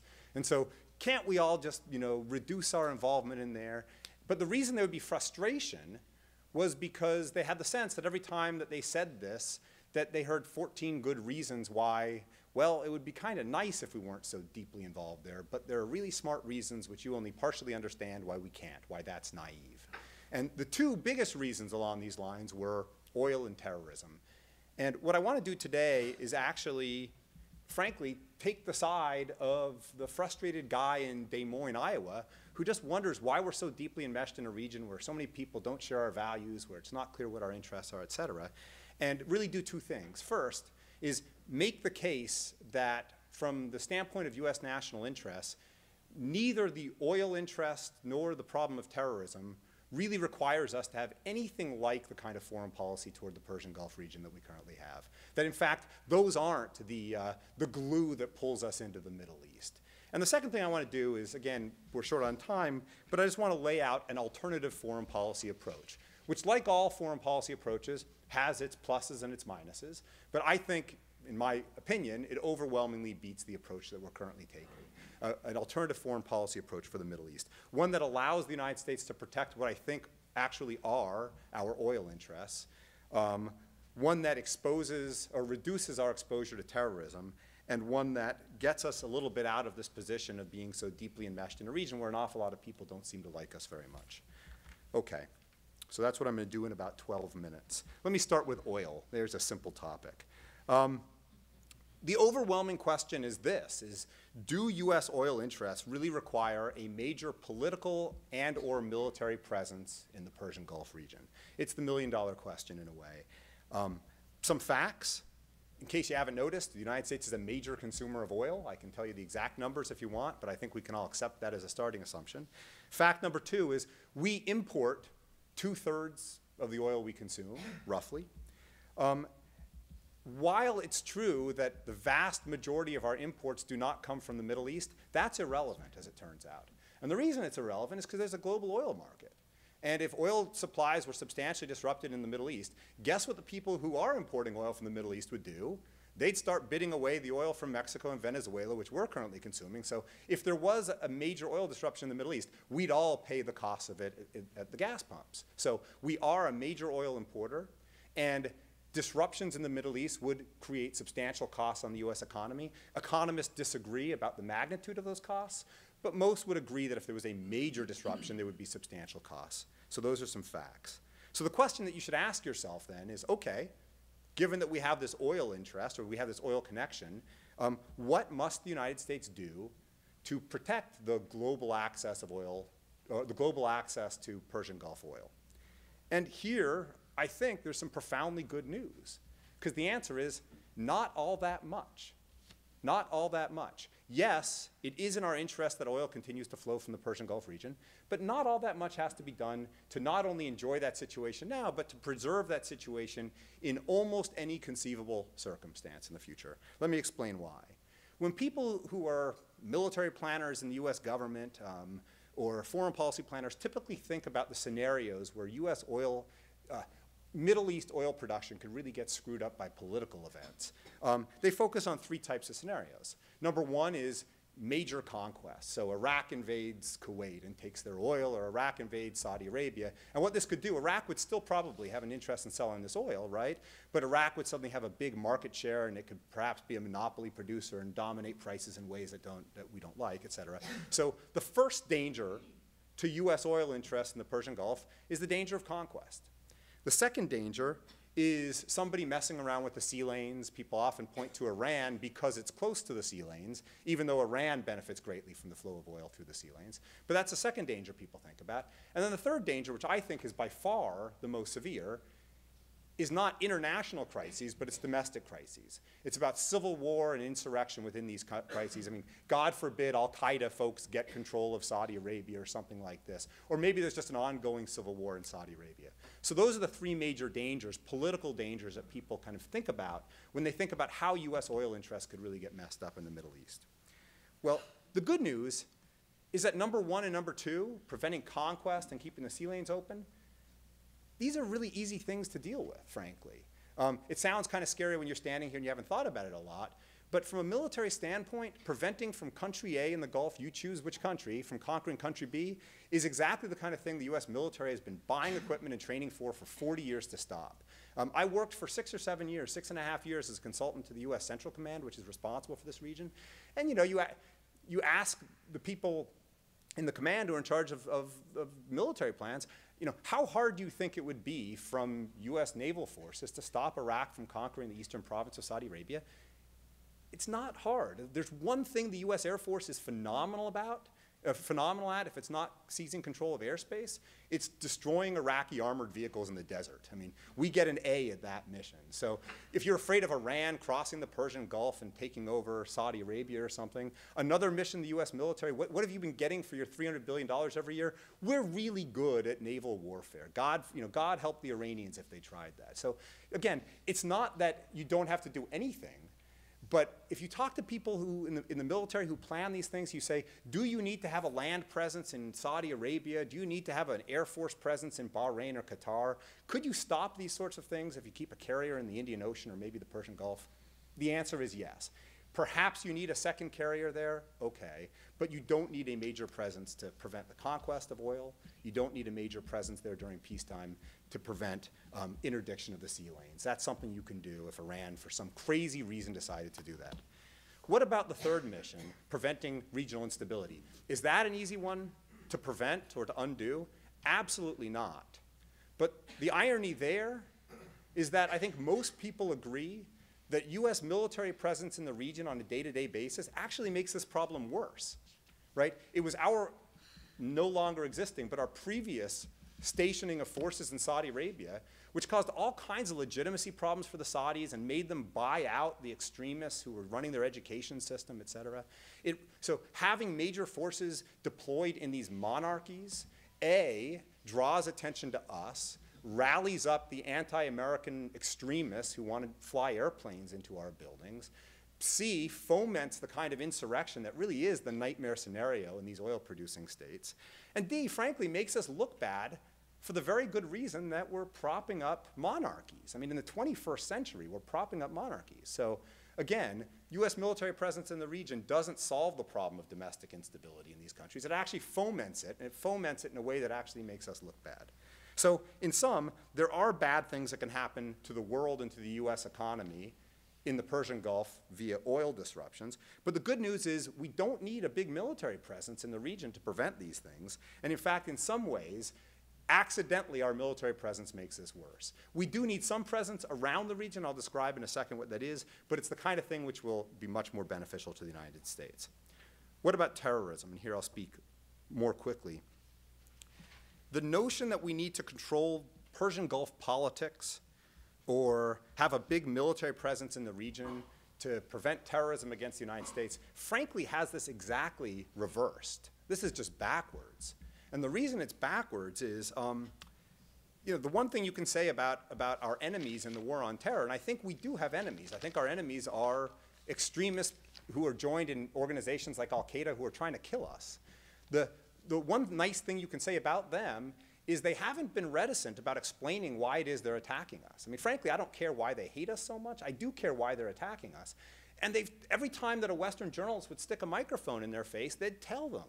And they frankly stayed on message. It's remarkable. You know, American governments work really hard to keep everyone on message. They've stayed on message. And part of their message is it has something to do with U.S. relationship with Israel, but it mostly has to do with U.S. military presence in the Persian Gulf region. I mean, the, Osama bin Laden's original declaration of war on the United States, and he went to the trouble, he wrote a document called the Declaration of War on, I can't remember the whole title because he's a wordy guy, but it was something along the lines of the declaration of war against the infidels who are in the land of the two holy shrines, read Mecca and Medina. It's all about U.S. presence in Islamic territory, et cetera. Um, so why do we think that the reason they're principally attacking us, not the only reason, but the reason they're principally attacking us is because of our presence in the Persian Gulf region? Number one, they say this at every opportunity they can to us, but they might be lying. Reason number two is if you look at their recruiting tapes, the things where they turn folks who hate America and the West into actual operational terrorists, which is the key thing, what do they talk about? They talk a little bit about the Arab Israeli dispute, but they mostly talk about the US military presence in the Persian Gulf and the attempt to dominate Islam. So that's evidence number two. Evidence number three is we've seen this before, right? 20 years ago, these same folks were fighting a big war against somebody who they thought was trying to dominate Islam. Who was that? That was the Soviets. And they were in cahoots with us in this, right? We were helping them, they were cooperating with us. We supported Israel back then in the 1980s, but they could look beyond that because their main goal was get the people they perceive as the infidels out of Muslim lands. Well, the Soviets left, and the people who they now perceive as trying to prop up these corrupt dictatorships and be in Muslim lands is us. So when I look at this, the, the, the argument that says we must be in the Persian Gulf because otherwise these guys are going to fly airplanes in, into our buildings seems ludicrous to me on its face. Instead, what I would say is, it is quite clear to me the members of Al Qaeda are our enemies. They would like to destroy our society, they would like to kill us. And the United States government should expend tremendous resources to try to destroy this group. To use diplomatic tools, to track them through money supplies, to use special operations missions, to use CIA, to use all the tools in the book, and also to do what, what the Bush administration intelligently did, which is to tell local governments that the days when you could permit anti-American terrorist groups to train in your country are over. And that you, Syria, for example, must make an equal effort to prevent anti-American terrorists from training in your country, as you very effectively do at preventing anti-Syrian government groups from training in your country, namely stamp them out. I think all of that is very sensible. We are at war with al-Qaeda, we have to destroy al-Qaeda. But what this doesn't require, and that's what I really want to focus on, what this doesn't require is having a large military presence in the Persian Gulf region. What it doesn't retire, require is defending and occupying Qatar or Kuwait or Saudi Arabia or any of these countries. All right, very last thing, what should we do then? Let me give you five, five points on what we should do. Number one, continue what we're doing against Al Qaeda. Um, one thing that the current administration, which I'm very critical of on other grounds, has done quite well is I think we need to recognize that while it's hard to interpret negatives, the fact that we haven't had a major terror attack on the United States since 9-11 is quite remarkable. And it probably is not unrelated to the fact that a large number of their senior leadership are in jail or being detained in some nasty holes in some unfriendly regime. Um, the Bush administration, I think, deserves some credit for really so far doing a pretty good job against al-Qaeda, and we should continue that. Number two is remove U.S. forces from the Persian Gulf region, from Kuwait, from Bahrain, from Qatar principally. Um, doing this, the big benefit would be it would reduce the visibility of U.S. forces. It would weaken the Al Qaeda recruiting posters. It would get us off their screen. They wouldn't have to look at us and blame us for all their troubles because we would just be over the horizon. Number three, we still have interest, oil interests in the Persian Gulf, so you need to maintain a major na naval presence in the Indian Ocean. Good news, we can have one, two, three, four aircraft carriers in the Indian Ocean, and you could be standing on the Gulf, you know, in Saudi Arabia or Qatar or Bahrain, and you can't see it, right? So we can still maintain forces nearby, meaning the Indian Ocean, and keep somebody from conquering their neighbor or keep Iran from doing something crazy to the Straits, which they're almost certainly not going to do anyway, but not be in their hair. Um, number four, and I just feel like I'm obliged to say something about U.S.-Israel relations, and I guess what I would say, and talk more if you're interested in Q&A, is, is I guess my feelings about this are both good news and bad news for Israel. Um, the bad news is I do think, for reasons that, um, uh, th that are not in the least bit hostile to Israel, frankly, I do think it is time for us to reevaluate the types and the levels of aid we give Israel. Not because they're a bad ally to the United States, but we should simply ask ourselves the question, gosh, given that they are the wealthiest country in the region, given that they have the highest GDP per capita, they're technologically sophisticated, they also have the most powerful conventional military forces in the region. By the way, they also have nuclear weapons. they kind of look on their face like a country who can probably take care of its own national security problems. And so we should probably say, we're good friends of yours, you've been good friends of ours, but show some need. You know, you know, if your economy dives in the tank or if the Syrians get nuclear weapons, and maybe we'll reconsider. But for now, just on the basis of need, there are probably other people around the world who need our aid more than the Israelis. So I do think that's the bad news is we should reduce our aid, not as a punitive step, but just on the basis of need. The good news with regard to Israel is um, I don't think that we should be in the business of telling them exactly what details they're going to try to pursue to try to resolve their dispute with the Palestinians. You know, should the wall be two feet to the right or two feet to the left? Should it be eight feet or nine feet or seven feet? I mean, frankly, we can have a debate with the audience, with each other about, you know, we can go back to 1956 or 1958 or 2000 BC about who started what to who. Yeah, but yours was a reaction to this prior insult. Ah, but that insult was because of this previous grievance. And you know, for me, you know, I spent enough of my life. I looked this up. I tried to learn about it. And I finally threw up my hair, my hands, and I said, okay, enough. I don't think we're going to come to a resolution about this. But when I kind of think about the Israeli situation, I kind of what I come down on this is, you know, if if for whatever reason hundreds and hundreds of Al Qaeda terrorists were infiltrating the Mexican-US border and blowing themselves up in American markets, we wouldn't be asking for a show of hands at the UN about how high to build the fence or how low to build the fence or whether there would be three soldiers or two soldiers and a dog. We'd do what we wanted to do to prevent the infiltration. And so my sense is the Israelis are the ones who are going to have to live with the alternatives if they screw this up. If they further anger the Palestinians and destroy the moderates in Palestine and have another 20 years of war, they're going to be stuck with the consequences. On the other hand, if we push them, oh no, you shouldn't have a wall, and horrible, horrible things happen in Israel as a result, they're also going to have to live with that consequence. And in the same way that we wouldn't ask for a show of hands about how to defend ourselves from terrorists, I don't think we should be telling them what to do on that. Um, the very last thing is on Iraq. Um, you know, I spoke before many of these forums, forums before the war, and I thought the war was a terrible idea beforehand. I still think the war was a terrible idea. I don't think it served U.S. interests. And while the specific bad things that mm-hmm. happened are always hard to predict ahead of time, I guess the argument was a lot of bad things could happen. Some subset will probably happen, and it doesn't look worth it to me. That said, as Shelley said, this is where we are now. And for a variety of reasons we could talk about, I think the only thing to do in Iraq now, for the time being, is try to build up the current Iraqi government and security forces to the point where they may, may be able to stave off the nasty civil war that looks like it's coming. And meanwhile, and, and when we can do that, then get out. I, for ethical reasons only, I wouldn't argue for pulling out today because I think that we would have the blood of millions of people on our hands if we did. Um, in, in sum, um, my sense is that neither the left nor the right in the political debate in this country is frankly being straight with us about our Middle East options. Um, the left wants you to believe that our only solutions are to kind of condemn and curb Israel and to free ourselves from oil.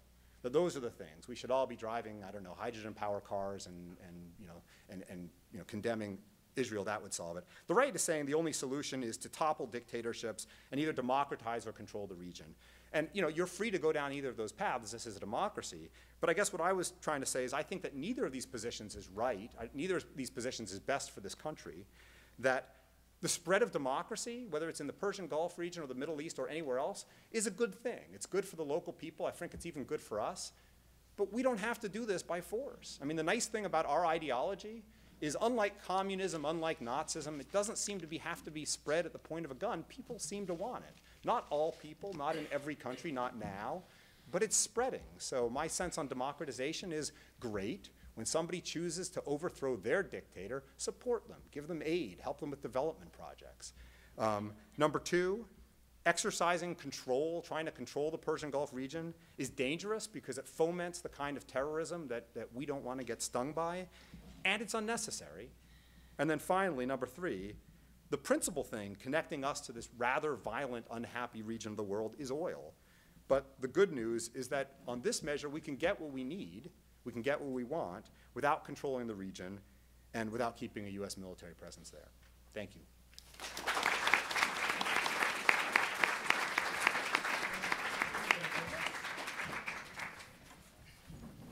We'll take a 30 second break to let those people that need to exit the room exit, and then we'll see if people have questions.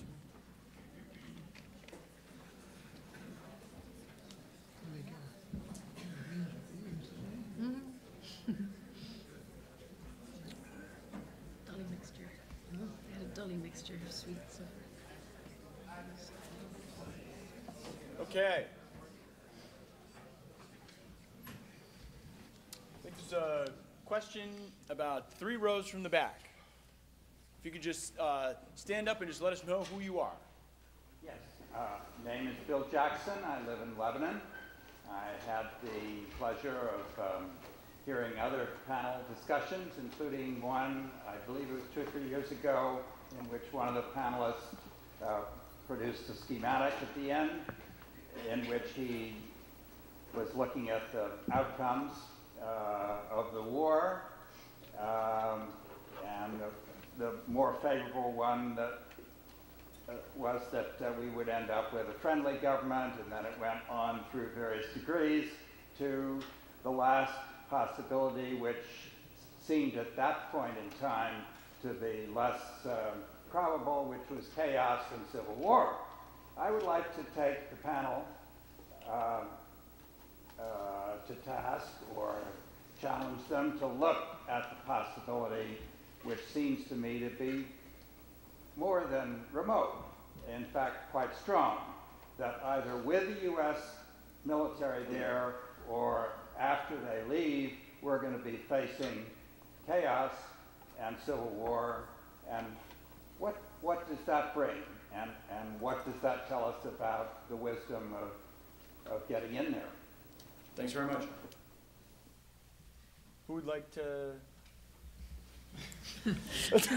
I was not that person, of course, because I wasn't working here. But I just want to say one thing: um, that Iraq is heading towards a civil war, and that there's increased uh, stratification along ethnic lines is a reality. That the U.S. administration and occupation encourage that by, the, you know, appointing the governing council according to sectarian lines and publishing in the newspapers so and so Kurd, so and so Shiite. While I was there filming the documentary, everyone said, "Why are they publishing these things?" One important thing: without a middle class, a large middle class, as I said, most of, of which is outside the country, you cannot have a, a, a healthy civil society that will rebuild itself. The world is not, you know, like a, a chessboard that you ch- change things like that. The consequences of 35 years of certain policies will be with us.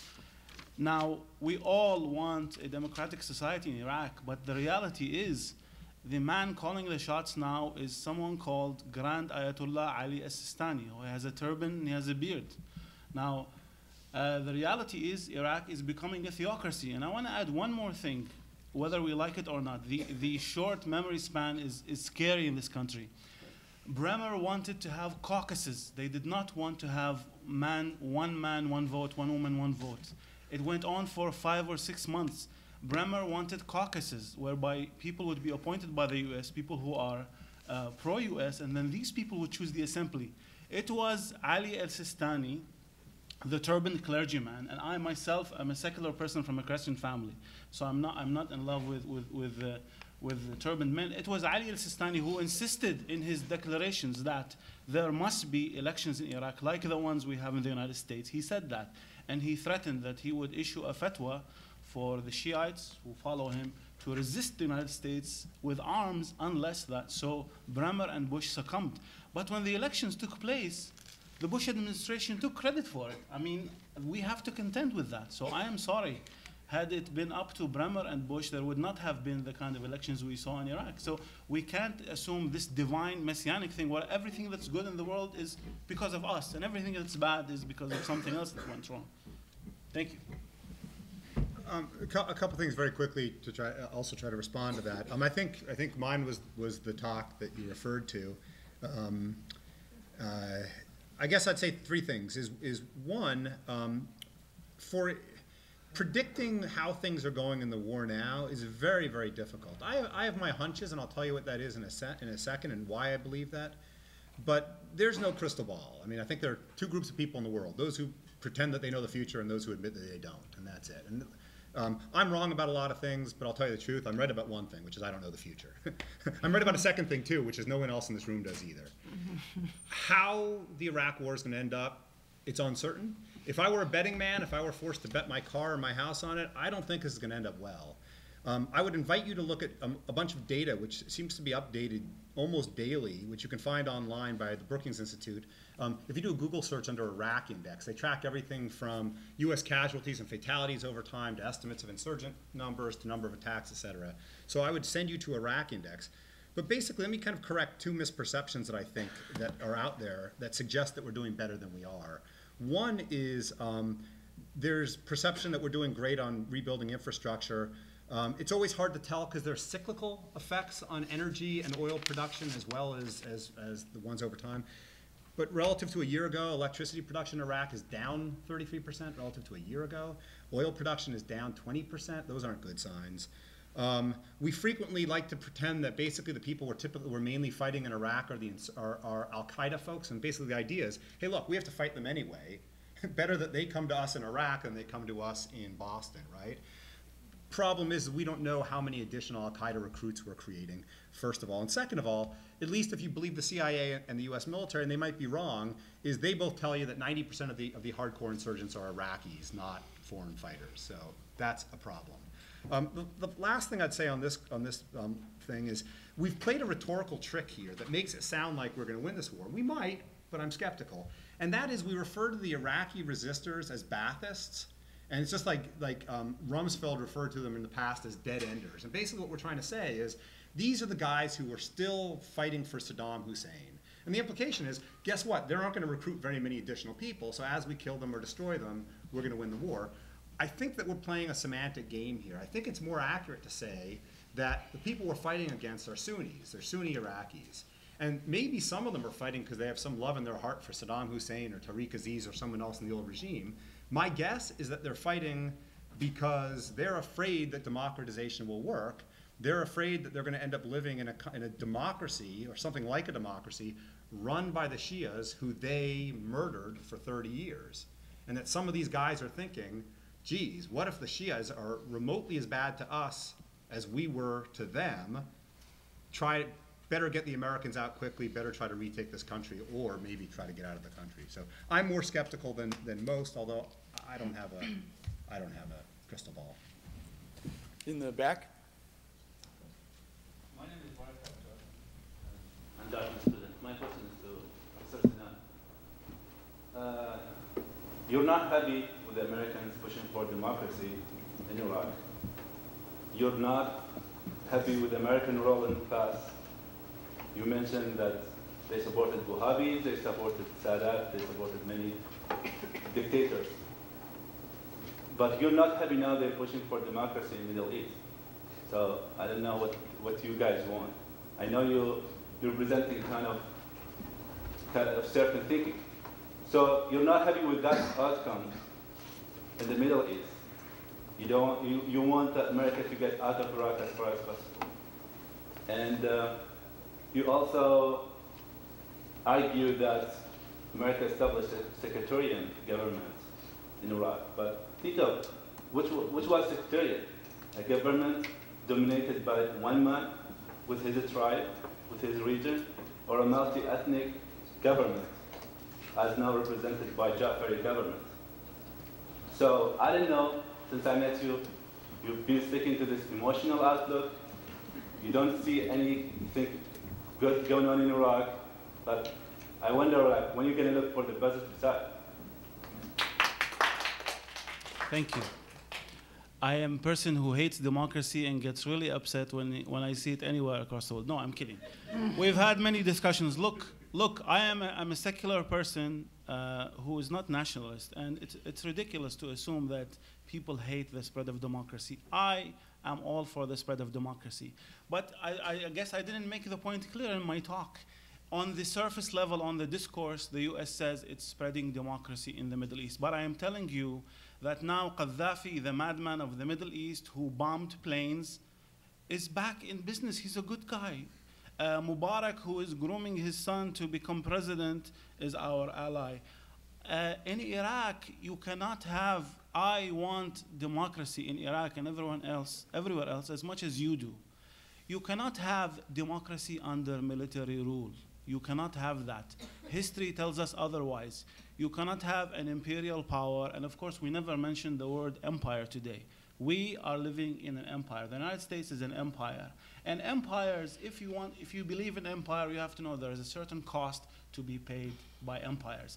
Sadly, in this country, the people who are paying the cost of empire are the working class, mostly the minorities, people who live in White River Junction. That's why the war can go on because the middle class is largely shielded from it. So we can go on shopping, and the war is a distraction. Going back to the multi-ethnic, I, I was always against Saddam, my friend, while we were in Iraq. I have written many articles against Saddam. I'm all for a society where the Shiites, more than anyone else, take their right, rightly place, but a society that is a civil society based on citizenship. Unless we base our societies on citizenship, the road is towards civil war. Yes, the sufferings of the Shiites and their power must be restored. But if you read the way it's talked about, it's they, they divide the, the ministries just like Lebanon. The defense has to go to a Shiite. This has to go to a Kurd. And the whole rhetoric in all over Iraqi society is completely sectarian. And Kirkuk is an example. If you read the uh, reports in The Economist, for example, it's a ticking time bomb. It's true Saddam had dominated by a Sunni, the Sunni minority, but it was more about power. Tariq Aziz was a Christian. He was the foreign minister. Muhammad Hamza Zubaydi, who led the massacres in the south, was a Shiite. I'm sorry, going back to the insurgents. The insurgents is not based on Sunnism, it's based on power and interest. I'm sorry to take a lot of your time, but I have to say this. When the United States entered Iraq, uh, the policy was to de-Ba'athify, and I am against the Ba'ath. But Bremer's idea, based on the opinions of two Iraqi Americans who told him that you have to de-Ba'athify because the Ba'ath is like Nazi Germany. That is disastrous because the Ba'ath is, is terrible, but it's not like Nazi Germany. And also, we have to ten, contend with the other problem. You, you can't decide for 25 million people based on two people. That's the problem. But the, the, all of these people, the insurgents, are not just the Sunni necessarily. It's not Sunni based. It's based that they were all working in the intelligence and military apparatus of the party. But the important thing that why did we have two, three months right after the occupation where no one was doing operations against the United States? Many of these people, look, they are people who are willing to work with the system, like all over the world. People change their ideology overnight and work with the system. Many of them were willing to work with the new regime. And we have now in this government people who are Baathists, who are taken back. But when Bremer's policy of de-Baathification basically told these people that you will never get any kind of job in the new regime, you will not get monthly payments, and most of these people still had their weapons. If you want to de-Baathify them, why don't you take their weapons? and they number somewhere close to 800,000, each having a family of four or five, with their weapons still intact. You go at night, and we have reports now. You, you terrorize them in their houses. You have wrong lists. You intimidate them. These people could have been won over. This is the, I'm sorry, the idiocy of the American policy in Iraq is that aside from all ideological considerations, these people could have been integrated into the new regime but the United States did not use the three month window of opportunity. You might say that Ba'athists can never work again because they were once Ba'athists. Why was Iyad Allawi chosen by the United States to be the interim prime minister? He was a Ba'athist, he was a Saddam henchman in Europe. So either we are against the Ba'athists or we're with them.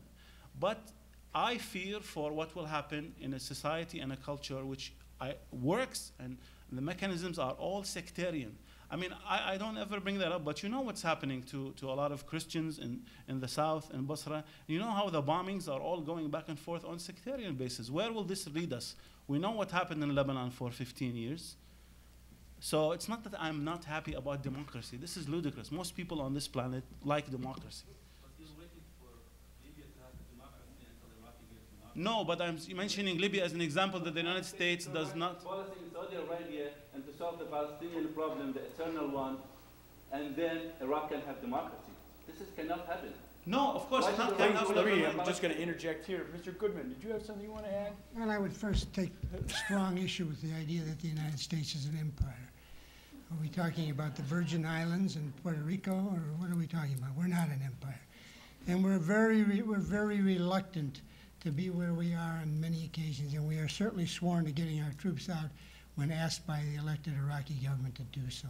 So I don't, I don't think it's fair to, to, to look at us as, as an empire, at least in uh, my understanding of what empire means. What, what strikes me always is that the U.S. is, and I, and I hear it here today, the U.S. is always doing th- everything, virtually everything wrong. But the U.S. has given Iraq a chance for democracy. The fact that the U.S. has, has embarked on the policy that it has has had repercussions all over.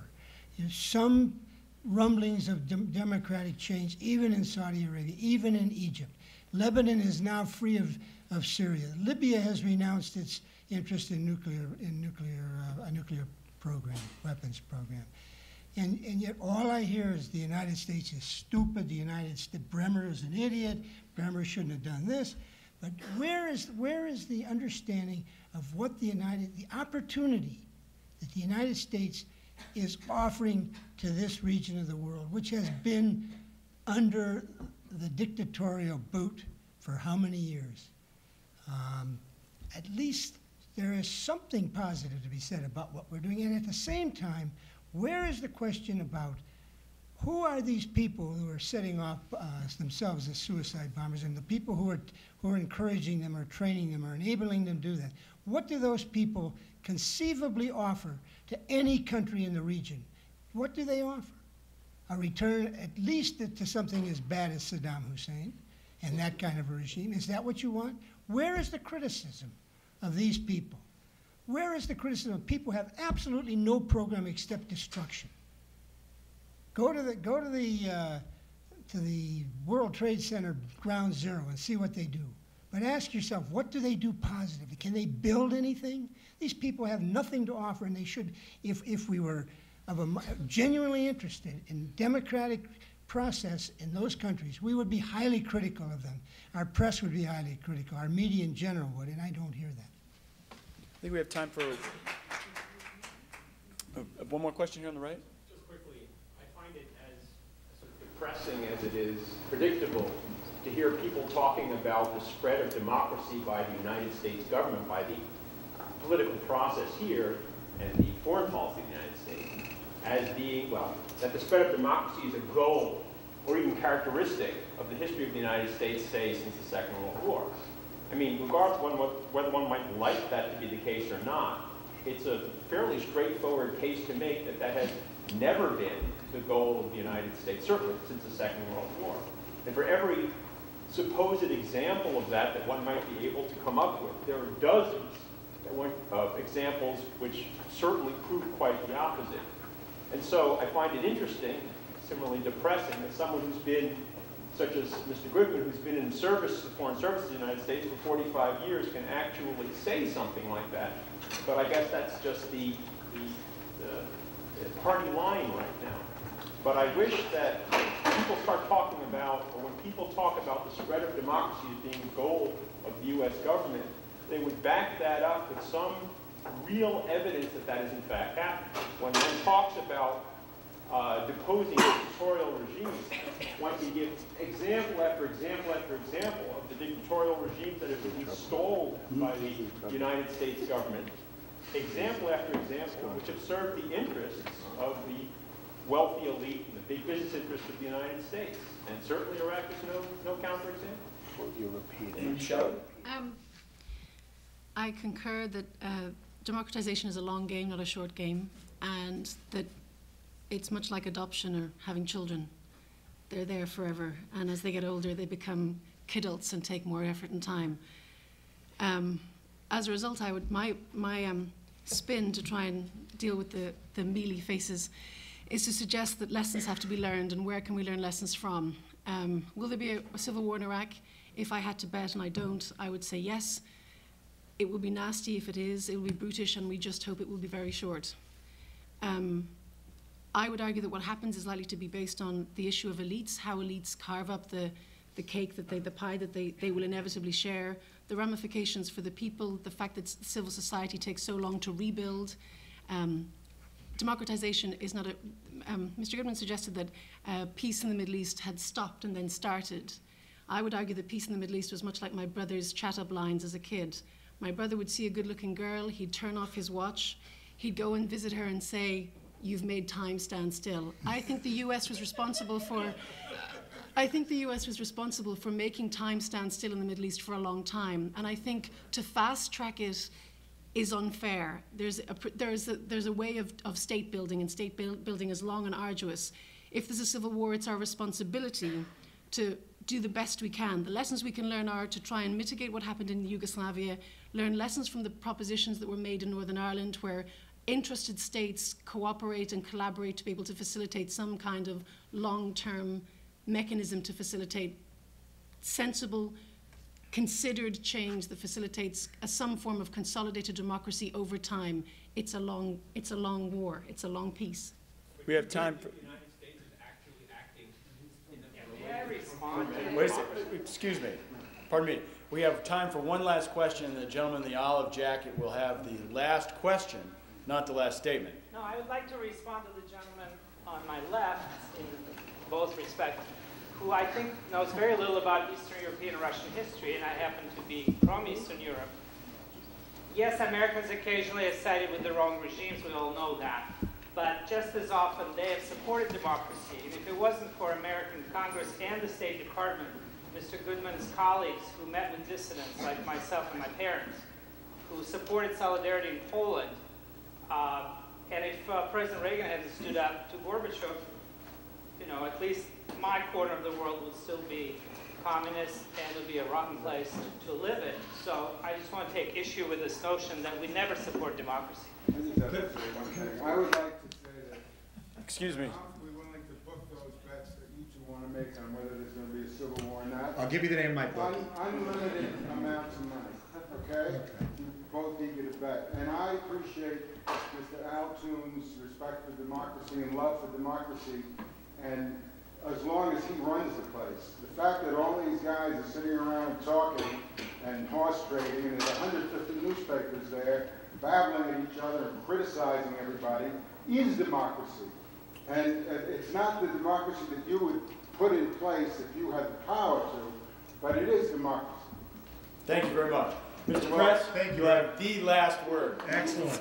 Um, I, I would like, I, would, I think the gentleman's question on my right, your left, is, is both helpful and I think, though, at the same time, it, it somewhat confuses.